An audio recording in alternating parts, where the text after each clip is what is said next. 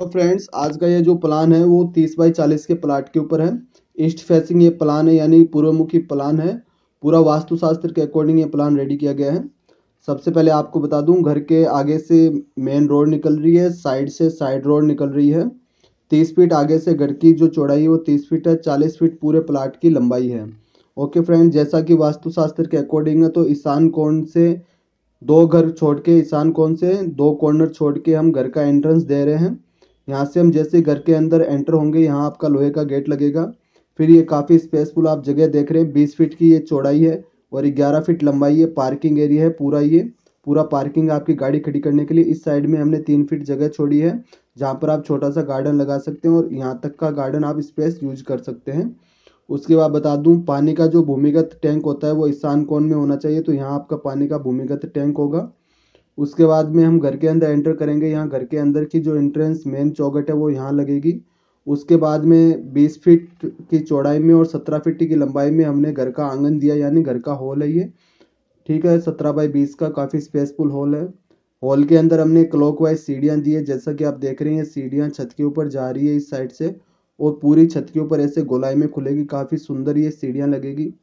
सीढ़ियों के नीचे की जो ये दीवार होगी, इसके अंदर हमने बड़ी खिड़की रखी है विंडो रखी है, जिससे पूरे आँगन में काफ़ी अच्छी रोशनी और हवा रहेगी।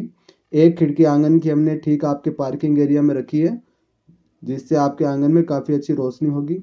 फिर बात करते हैं इस साइड की तो ये आपका जो कॉर्नर होगा, इस कॉर्नर में हमने रसोई घर रखा है किचन क्योंकि आगन्य कौन है, आपका अग्नि कौन है, इसमें किचन रखा है। किचन की एक खिड़की हमने ठीक गार्डन में सामने रखी है, आप देखिए।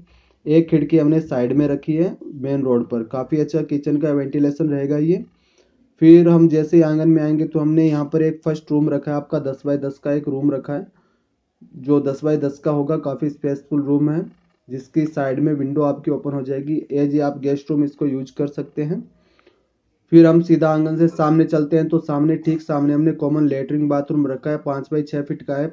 छः फीट इसकी लंबाई है, पाँच फीट चौड़ाई है, वेंटिलेशन विंडो पीछे की तरफ़ ओपन हो रहा है, काफ़ी स्पेसफुल आपका लेटरिन बाथरूम हो गया है, ये कॉमन रहेगा। फिर कॉर्नर में हमने एक रूम दिया है, दस फीट की, इसकी चौड़ाई है, सोलह फीट इसकी लंबाई है, काफ़ी बड़ा ये आपका कमरा रहेगा, जिसमें हमने दो खिड़की रखी है, एक पीछे की साइड में रखी है, आपके पीछे में अगर स्पेस नहीं है तो आप साइड में ये विंडो इस रोड पर रख सकते हैं, काफ़ी स्पेसफुल आपका सुंदर रूम लगेगा। फिर इस इस रूम से ठीक हम इधर आएँगे तो लेट बाथ से इस साइड में चलेंगे तो एक हमने कमरा रखा है। काफ़ी स्पेसफुल ये कमरा है, दस बाई ग्यारह का कमरा रखा है, पीछे की तरफ़ एक खिड़की रखी है। कमरे के अंदर हमने अटैच लेट बाथ रखा है, चार बाई छः फीट का अटैच लेट बाथ है, चार फीट इसकी चौड़ाई है छः फीट इसकी लंबाई है लेट बाथ की लेटरिन बाथरूम की। पीछे में इसका वेंटिलेशन विंडो आप देख रहे हैं, दीवार में रखा गया है। एक चार बाई पाँच का यहाँ पर हमने एक स्टोर रूम रखा है, जिसका गेट आपकी सीढ़ियों के नीचे रहेगा। काफ़ी स्पेसफुल आपका ये स्टोर होगा। तो फ्रेंड तीस बाई चालीस में हमने आपको तीन रूम प्रोवाइड करवाए हैं। किचन है पार्किंग एरिया है गार्डन का दिया है वाटर टैंक का हमने बता दिया, सीढ़ियाँ हमने गोलाई में सुंदर सी रखी है स्टोर रूम का ऑप्शन रखा है। तो वास्तुशास्त्र के अनु अकॉर्डिंग ये प्लान रेडी किया गया। आपको अगर पसंद आया तो प्लीज़ लाइक कीजिए वीडियो को और शेयर कीजिए। हमारे चैनल को सब्सक्राइब करना मत भूलिए। सब्सक्राइब करने पर अगला नेक्स्ट वीडियो सबसे पहले आप तक पहुंचेगा। थैंक यू दोस्तों।